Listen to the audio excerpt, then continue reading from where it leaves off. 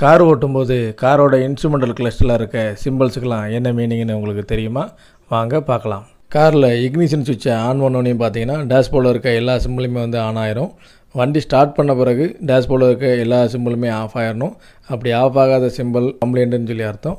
அந்த வரிசையில் நம்ம ஃபஸ்ட்டு பார்க்குறது பவர் ஸ்டியரிங் சிம்பிள் இந்த சிம்பிள் வந்துருச்சுன்னா உங்களுடைய பவர் ஸ்டியரிங் ஆயில் லெவல் கம்மியாக இருக்கலாம். அப்படி இல்லைன்னா எலக்ட்ரானிக் பவர் ஸ்டியரிங்காக இருந்தால் பவர் ஸ்டியரிங்கை மாற்றுற கண்டிஷனாக இருக்கும். இது உங்களுக்கு டெம்பரேச்சர் கேஜ் இது வந்து பார்த்தீங்கன்னா வண்டி வந்து ஓவர் டெம்பரேச்சர் ஆச்சுன்னா இந்த லைட்டு வந்து உங்களுக்கு க்ளோ ஆரம்பிக்கும்.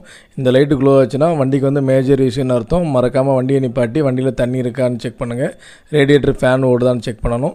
பக்கத்தில் ஒரு ஷாப் இருந்தால் வண்டியை வந்து கொண்டு போங்க. இதே கண்டிஷனில் ரொம்ப தூரம் வண்டியை ஓட்டினீங்கன்னா உங்கள் வண்டி வந்து சீஸ் ஆகிறதுக்கும் வாய்ப்புகள் ஜாஸ்தி. ஏர்பேக் சிம்பிள் இந்த சிம்பிள் வந்துருச்சுன்னு பார்த்தீங்கன்னா ஆல்ரெடி ஏர்பேக் வந்து ஓப்பன் ஆகிருக்கலாம் அப்படி இல்லைனா ஏர்பேக்கில் இருக்க சென்சார் வந்து கம்ப்ளைண்ட் ஆகுது அந்த லைட் வந்து க்ளோ ஆகும். மறக்காமல் ஒர்க் ஷாப்பில் கொண்டு போய் இதை வந்து செக் பண்ணிக்கோங்க.